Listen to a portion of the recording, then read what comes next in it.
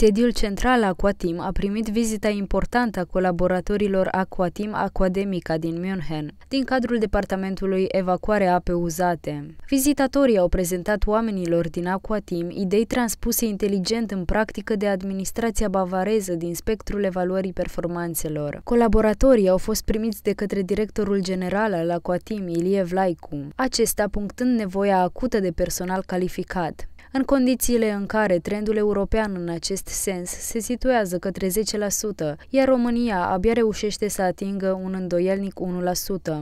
De asemenea, Ilie Vlaicu a declarat că Asociația Română a Apei, al cărei președinte este, va face demersuri rapide pentru importul unor soluții reparative. Întâlnirea a fost una activă și interactivă, cu întrebări, răspunsuri, discuții libere, o sinceră deschidere, o reconfirmare a unei mari și trainice prietenii profesionale.